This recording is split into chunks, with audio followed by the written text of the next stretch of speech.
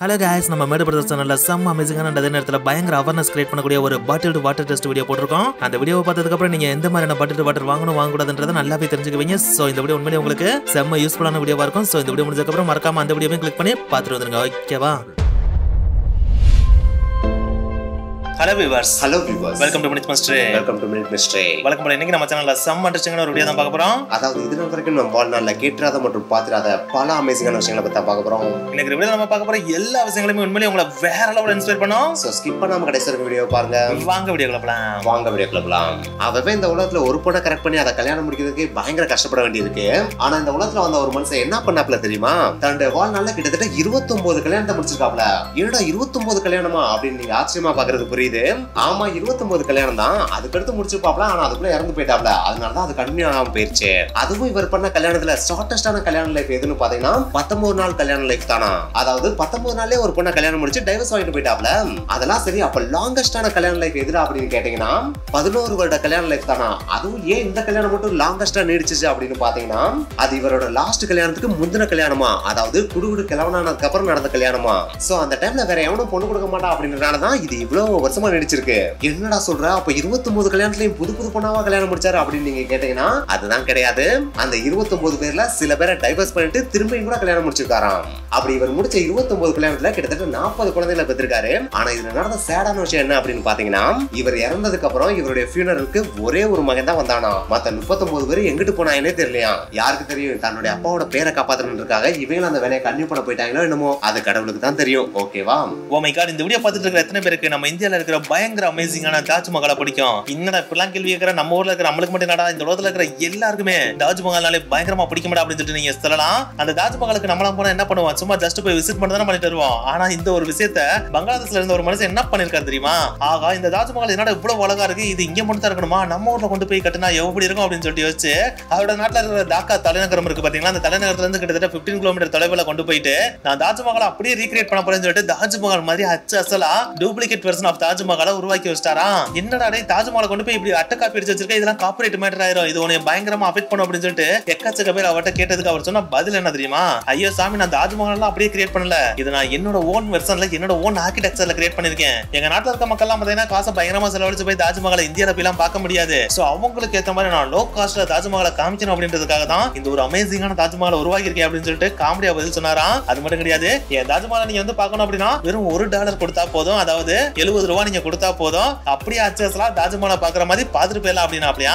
இதை கட்டினது வேற யாரும் கிடையாது. அந்த நாட்டோட பயங்கர வெல்த்தியஸ்டான பில்ம் மேக்கரான அசன் உல்லா மொனியா. என்னதான் இவர் இந்த ஒரு விஷயத்த பங்களாதேஷ்ல பயங்கர அசால்ட்டா கட்டினாலும் இந்தியன் அத்தாரிட்டிஸ் இந்த ஒரு விஷயம் பயங்கரமா ஆங்கரை கிரியேட் பண்ணுச்சு அப்படின்னு தான் சொல்லியானோ ஏன்னா தாஜ்மஹால் அப்படின்ற ஒரு விஷயத்தை இந்தியால இருக்கிற நம்ம மட்டும் கிடையாது உலகத்துல இருக்கிற எல்லாருமே பயங்கர புனிதமான காதலர்களுக்கான சின்னமா தான் பாக்குறாங்க ஆனா இவர் இந்த ஒரு விஷயத்த பயங்கரமா காமெடியா எடுத்து சீரியஸ்னஸ் இல்லாம கிரியேட் பண்ணதுனால எக்கச்சக்கமான எதிர்ப்புகள் கிரியேட் ஆச்சா அதனாலேயே அவர் என்ன சொல்றாரு அப்படின்னு பாத்தீங்கன்னா இதை நான் ஜஸ்ட் வெறும் பத்து மாசம் தான் திறந்து வைப்பேன். அதுக்கடுத்து இதை நான் விசிட்டர்ஸ்க்காக அலோவ் பண்ண போறது இல்லைன்னு சொல்லிட்டு ஸ்டேட்மெண்ட்டே கொடுத்தாராம். ஆனா இப்போ வரைக்கும் கூட அந்த ஒரு பேக்கான தாஜ்மஹால் பங்களாதேஷ்ல இருக்கு அப்படின்னு தான் சொல்றாங்க. கேட்கிறப்ப பயங்கர வியடா இருக்குல்ல? சரி வாங்க அடுத்த விஷயத்துக்கு போலாம். ஒரு மனுஷனுக்கு எப்படி வேணாலும் சாவு வரலாம். ஆனா இப்படி மட்டும் இறப்பு வரக்கூடாதுன்னு யோசிக்க வைக்கிற ஒரு இறப்பை தான் இப்ப நம்ம பார்க்க போறோம்.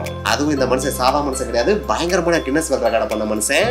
அதுவும் எதுல பண்ணிருக்காப்லன்னு பாத்தீங்கன்னா அவருடைய தாடியில பண்ணிருக்காப்ல. அவருடைய தாடி மட்டும் எவ்வளவு நீளம் இருக்குன்னு தெரியுமா? கிட்டத்தட்ட நாலு அடி நீளம் இருக்குமா? என்னடா இவ்வளவு பெருசா தாடி வச்சா அதை எப்படி மடக்கி வைப்பாப்ல அப்படின்னு கேட்டீங்கன்னா அதுக்காகவே அவர் எக்ஸ்க்ளூசிவா ஒரு லெதர் பவுச்சை செஞ்சு வச்சிருப்பாப்லையாம் சோ வெளியே போறப்பல அந்த பவுச்சுக்குள்ள தாடியை வச்சுட்டு ஜாலியா நடந்து போக ஆரம்பிச்சிருவாப்லையாம் ஆனா அப்பா அவருக்கு தெரியல அந்த தாடி தான் இவருக்கு சாவை கிரியேட் பண்ண போகுது அப்படின்னு. ஏன்னா எப்ப பார்த்தாலும் லெதர் பவுச்சுக்குள்ள தாடி வைக்க முடியாது இல்லையா? சோ அப்படிதான் ஒரு நாள் பாத்தீங்கன்னா அவருடைய வீட்டுக்குள்ள திடீர்னு தீப்பிடிச்சு எரிஞ்சிருக்கு. அப்படி தீப்பிடிச்ச உடனே உயிரை காப்பாத்துறதுக்காக வேகமா எந்திரிச்சு ஓட ஆரம்பிச்சிருக்காப்ல. பார்த்தா ஓடுனதுக்கு அப்புறம் தான் யோசிச்சிருக்காப்ல ஐயோ லெதர் பவுச்சை மறந்துட்டோமே அப்படின்னு. அப்படி அவர் யோசிக்கிறதுக்குள்ள அவருடைய தாடியை அவருடைய கால்ல மாட்டி அவர் அப்படியே கீழே விழ வச்சிருது. அப்படி அவர் கீழே விழுந்ததுல கழுத்துல அடிபட்டு இறந்தும் போயிடுறாப்ல சோ அவ்வளவு நாள் பொத்தி பொத்தி வச்சிருந்த அந்த தாடியே அவருக்கு கடைசியில எமனாவும் மாறிடுச்சு. ஏன்டா சொல்ற? இப்படி ஒரு இன்சிடென்ட் நான் கேள்விப்பட்டதே இல்லடா அப்படின்னு நீங்க கேக்குறது புரியுது. ஏன்னா இந்த இன்சிடென்ட் இப்ப நடந்தது கிடையாது. கிட்டத்தட்ட ஆயிரத்தி ஐநூத்தி அறுபத்தி ஏழு நடந்திருக்கு. இந்த கதையோட ஹீரோ யாருன்னு பாத்தீங்கன்னா ஹான்ஸ் ஸ்டெய்னிங்கர் இவர் உங்களுக்கு பிடிச்சிருந்துச்சுன்னா லைக் பண்ணுங்க ஓகேவா ஓ மை காட் இந்த வீடியோ பார்த்துட்டு இருக்கிற எத்தனை பேர் தன்னோட வெயிட்டை கம்மி பண்ணணும்னு சொல்லிட்டு பயங்கரமா ஜிம்முக்கு போறது பயங்கரமா சைக்கிளிங் பண்றது பயங்கரமா வாக்கிங் போறது பயங்கரமா ரன்னிங் போறதுன்னு சொல்லிட்டு எல்லாத்தையுமே பயங்கர பயங்கரமா பண்றீங்க. ஆனா என்னத்த என்ன பயங்கர பயங்கரமா பண்ணாலும் நம்ம வெயிட் கம்மி ஆயிடுச்சா அப்படின்னு கேட்டா அது ஒரு பெரிய டவுட் தானே. ஏன்னா நம்ம பண்ற எக்ஸசைஸ் அந்த அளவுக்கு ரிசல்ட் கொடுக்குதான்னு கேட்டா கொஞ்சம் டவுட்டா தான் இருக்கும். ஏன்னா நாங்களும் பாத்தீங்கன்னா கிட்டத்தட்ட ஒன்றரை வருஷத்துக்கு மேல ஜிம்முக்கு போய் வெயிட்டை கம்மி பண்ண சொல்லி ட்ரை பண்றோம். ஆனா ஒரு கிலோ வெயிட் கூட கம்மியாக மாட்டேன்ருச்சு ஆனா ஜப்பான்ல இருக்கிற ஒரு ஹீரோ என்ன பண்ணிருக்காரு அப்படின்னு பாத்தீங்கன்னா வெறும் சில வாரங்களே கிட்டத்தட்ட பதிமூணு கிலோவை கம்மி பண்ணிருக்காப்ல அது மட்டும் கிடையாது அவரோட ஹிப் சைஸ் இருக்கு பாத்தீங்களா? அதையே கிட்டத்தட்ட பன்னிரெண்டு சென்டிமீட்டர் வரைக்கும் கம்மி பண்ணிருக்காப்லையா இன்னொரு சொல்ற சில வாரங்களே கம்மி பண்ணிட்டாருன்னா அப்படி என்னடா எக்ஸசைஸ் பண்ணாரு அப்படின்னு கேட்டீங்கன்னா அந்த எக்ஸசைஸ் கேட்கறப்ப உங்களுக்கு காமெடியா தெரியும். ஆனா அப்படி பண்ணதுனால செம்மையான ரிசல்ட் கிடைச்சிருக்கு அப்படின்னு சொல்றாங்க. டேய் போதுடா போதுடா நீ பில்டப் கொடுத்ததெல்லாம் போதும். அந்த எக்ஸசைஸ் என்னன்னு முதல் சொல்லிட்டு அப்படின்னு சொல்லி நீங்க கேட்கறது புரியுது. அந்த எக்ஸசைஸ் வேற எதுவும் கிடையாது. சிம்பிளா நீங்க நின்றுக்கங்க. நின்னுட்டு ஒரு காலம் முன்னாடி ஒரு காலம் லைட்டா பின்னாடி வச்சு உங்க பாடி வெயிட் இருக்கு பாத்தீங்கன்னா அது ஃபுல் அண்ட் ஃபுல் பேக் லெக்ல உழுகுற மாதிரி பின்னாடி லைட்டா சாஞ்சு நின்றுக்கங்க. அப்படி நின்றதுக்கு அப்புறம் என்ன பண்ணணும் அப்படின்னு பாத்தீங்கன்னா நம்ம புருசை வருது தெரியுமா? கை அப்படி மேல தூக்கி மூச்சு எழுப்பாரு பாத்தீங்கன்னா அந்த மாதிரி ஆக்சிஜனை மூணு செகண்ட் கம்ப்ளீட்டா உள்ள இழுக்கணும். அப்படி உள்ள எடுத்ததுக்கு அப்புறம் ஏழு செகண்ட் கார்பன் டை ஆக்சைட வாய்ப்புல இருந்து வெளியே போகணும் அதாவது எக்ஸைல் பண்ணணும். அதுவும் இந்த மாதிரி மூச்சை வெளியிடுறப்பலாம் பாத்தீங்கன்னா வாயை திறந்து மட்டும் வெளியிடக்கூடாது. மறுபடியும் ப்ரூஸ்லி மாதிரி கையை மேல கீழே சுத்தி தான் வெளியே விடவே செய்யணும். இந்த மாதிரி ஒவ்வொரு நாளும் வெறும் பத்து நிமிஷம் மட்டும் இந்த எக்ஸசைஸ் பண்ணா டக்குன்னு வெயிட் கம்மியாயிரும் அப்படின்னு சொல்றாங்க. அட என்னடா காமெடி பண்ணிட்டு இருக்கேன் எங்க காதுல பூச்சத்தை பாக்குறேன் அப்படின்னு சொல்லிட்டு நீங்க கேக்குறது புரியுது. ஆனா இதுல ஒரு சயின்டிபிக் ரீசன் இருக்கான் ஏன்னா நம்ம ஃபேட் இருக்கு பாத்தீங்கன்னா அந்த ஃபேட்ல பாத்தீங்கன்னா கார்பன் ஹைட்ரஜன் ஆக்சிஜன் அப்படின்னு சொல்லிட்டு மூணு காம்பவுண்ட் இருக்குமா? அப்படி இருக்கிறப்ப நம்ம அந்த மாதிரி மூச்சு இழுக்கிறோம் பாத்தீங்கன்னா அப்படி மூச்சு இழுக்கிறப்ப அளவுக்கு அதிகமான ஆக்சிஜன் உள்ள அனுப்புவோமா? அப்படி உள்ள அனுப்புறப்ப என்ன ஆகும் அப்படின்னு பாத்தீங்கன்னா அந்த ஆக்சிஜன் போயிட்டு ஃபேட்டை உடச்சு விட்டுருமாம் அப்படி உடச்சு விடுறதுனால கார்பன் தனியா ஹச் தனியா நீர் தனியா வெளியே போயிருமாம் சோ கார்பனை நம்ம வெளியேற்றுறதுக்கு தான் மூச்சை வெளியே விடுறோம் பாத்தீங்கன்னா அந்த மாதிரி வெளியிடுறப்ப வெளியே போயிருதான் நீர் பாத்தீங்கன்னா வியர்வை வழியா வெளியே வந்துருதான். பாத்தீங்களா? சாதாரண இந்த ஒரு எக்ஸசைஸ்ல எவ்வளவு பெரிய சயின்டிபிக் ரீசன் இருக்கு அப்படின்னு வேண்டாம் நீங்களும் வீட்டில் போய் ட்ரை பண்ணி பாருங்க. ஆனா அப்படி ட்ரை பண்றப்ப முக்கியமான ஒரு விஷயம் மசில பயங்கரமா ஸ்ட்ரெயின் பண்ணி இந்த ஒரு எக்ஸசைஸ் பத்து நிமிஷம் பண்ணா மட்டும் தான் ரிசல்ட் கிடைக்கும். சப்போஸ் ரிசல்ட் கிடைச்சிச்சுன்னா கீழே கமெண்ட் பண்ணுங்க. ஏன்னா நாங்களும் ட்ரை பண்ண போறோம். ஓகேவா இந்த உலகத்துல வெஸ்டர்ன் நடக்கிற கல்யாணமா இருந்தாலும் சரி இல்ல நம்ம ஊர்ல கிறிஸ்டியன்ல நடக்கிற கல்யாணம் இருந்தாலும் சரி அதுல பிரைடல் போடுற கவுனோட கலர் என்னவா இருக்கும்? கண்டிப்பா ஒயிட் கலர்ல தானே இருக்கும்? எஸ் கண்டிப்பா ஒயிட் கலர்ல தான் இருக்கும். ஆனா அவங்க ஒயிட் கலர்ல இந்த ட்ரெஸ் போடுறதுக்கான ரீசன் என்னன்னு யாருக்காவது தெரியுமா? இதற்கான ரீசன் யாரு அப்படின்னு பாத்தீங்கன்னா த கியூன் விக்டோரியா தானா? அவங்க தான் முதன் முதலா ஆயிரத்தி எண்ணூத்தி நாற்பதுல அவங்களோட வெட்டிங்க்கு இந்த மாதிரியான ஒயிட் கவுனை போட்டாங்களாம். அவங்க இந்த ஒயிட் கலர் கவுனை போட்டதுக்கு அப்புறம் இது ஒரு பிரஸ்டீஜியஸ் கவுனாவே மாறிடுச்சான் சோ இதை நம்மளும் போட்டா பயங்கர பிரஸ்டீஜியஸா தெரியும் அப்படின்ற காரணத்தினால தான் அதுக்கடுத்து வந்த எல்லா வெட்டிங்ஸ்லயுமே இதை ஃபாலோ பண்ண ஆரம்பிச்சிட்டாங்களாம். என்னதான் நம்ம பாக்குற சினிமாவோட ஸ்டார்டிங்ல smoking is injurious to health அதாவது நம்ம உடம்புக்கு ஸ்மோக்கிங் ரொம்ப கெடுதியானதுன்னு சொல்லிட்டு போட்டாலும் அதை யூஸ் பண்றவங்க பாத்தீங்கன்னா அந்த அளவுக்கு பெருசா நிப்பாட்டுறது கிடையாதுல ஆனா நாங்க இப்ப சொல்ல போற இந்த ஒரு விஷயத்தை கேட்டா அவங்க கண்டிப்பா ஸ்டாப் பண்ணிடுவாங்க. இதை கண்டிப்பா அவங்களுக்கு சேரும் பண்ணுங்க ஓகேவா ஏன்னா இந்த உலகத்துல டொபாக்கோ யூஸ் பண்றவங்க அதாவது சிகரெட் இந்த மாதிரியான விஷயங்களை யூஸ் பண்றவங்கல கிட்டத்தட்ட ஒவ்வொரு வருஷமும் 50% பர்சன்டேஜ் ஆஃப் மக்கள் இறந்து போயிடுறாங்களாம். அதாவது half of the tobacco users ஒவ்வொரு வருஷம் இறந்து போயிடுறாங்களாம். அதாவது இன்னும் கொஞ்சம் குறிப்பிட்டு சொல்லணும் அப்படின்னா ஒவ்வொரு வருஷமும் இந்த மாதிரி டொபாக்கோ யூஸ் பண்றவங்கள கிட்டத்தட்ட எட்டு மில்லியன் பீப்புள் இறந்து போயிடுறாங்களாம். இன்னும் கொஞ்சம் எக்ஸாக்டா சொல்லணும் அப்படின்னா எண்பது லட்சம் மக்கள் இறந்து போயிறாங்களா? இதுல இருக்கிற சேடான விஷயம் என்ன அப்படின்னு பாத்தீங்கன்னா அந்த எண்பது லட்சம் மக்கள்ல எழுபது லட்சம் மக்கள் தான் டைரக்டா டொபாக்கோவை எடுத்து யூஸ் பண்றவங்களா? மிச்சம் இருக்கிற பத்து லட்சம் மக்கள் இருக்காங்க பாத்தீங்களா? அவங்க டொபாக்கோவை யூஸ் பண்றவங்க கிடையாது. அந்த மாதிரி சிகரெட் இந்த மாதிரி குடிக்கிறவங்களுக்கு பக்கத்துல நிப்பாங்க பாத்தீங்களா?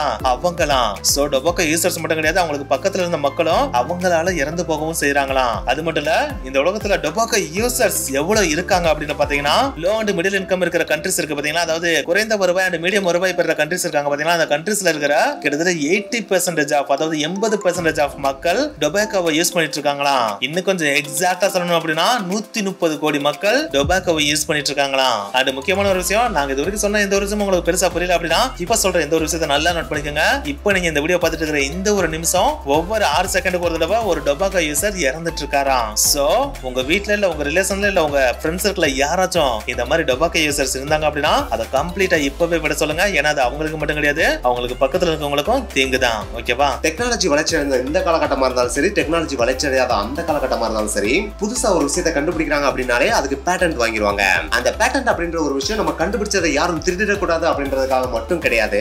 நம்ம கண்டுபிடிச்ச அந்த ஒரு இன்வென்ஷனை வேற ஏதாவது கம்பெனி வந்து யூஸ் பண்ண போறாங்க அப்படின்னா அவங்க கண்டுபிடிச்சவருக்கு செட்டைன் அமௌண்ட் ஆஃப் மணியை பே பண்ணி ஆகணும். அது குறிப்பிட்ட பீரியட் மட்டும் கிடையாது லைஃப் லாங்காவே நம்மளுக்கு ரெவன்யூ தந்துகிட்டே இருக்கும். ஸோ அப்படிப்பட்ட ஒரு பயங்கர அமேசிங்கான இன்வென்ஷனை ஒருத்தர் கண்டுபிடிச்சு அதை யார் வேணாலும் யூஸ் பண்ணிக்கலாம் ஃப்ரீயா யூஸ் பண்ணிக்கலாம்னு கொடுத்தா எப்படி இருக்கும்? உண்மையிலேயே வேற லெவல்ல இருக்கும்ல? அது வேற எதுவும் கிடையாது. நம்ம கார்ல யூஸ் பண்ணிட்டு இருக்க த்ரீ பாயிண்ட் சீட் பெல்ட் இருக்கு பாத்தீங்களா? அதுதான். அதை கண்டுபிடிச்சது வேற யாரும் கிடையாது. வால்வோ கம்பெனி இருக்கு பாத்தீங்களா? அந்த கம்பெனில ஒர்க் பண்ண இன்ஜினியர் தான் கண்டுபிடிச்சிருக்காரு. அவருடைய பேரு நீல்ஸ் பாக்லின் இதை இவர் கண்டுபிடிச்சதும் வால்வோ கம்பெனி என்ன பண்ணாங்கன்னு பாத்தீங்கன்னா நீங்க இதை எந்த கார்ல வேணாலும் ஃப்ரீயா யூஸ் பண்ணிக்கலாம். இதுக்கு நாங்க சார்ஜ் போட மாட்டோம் அப்படின்னு அறிவிச்சிட்டாங்க. இதனாலேயே இது வரைக்கும் பாத்தீங்கன்னா இந்த உலகத்துல பல மில்லியன் கணக்கான உயிர்கள் பாதுகாக்கப்பட்டிருக்கு.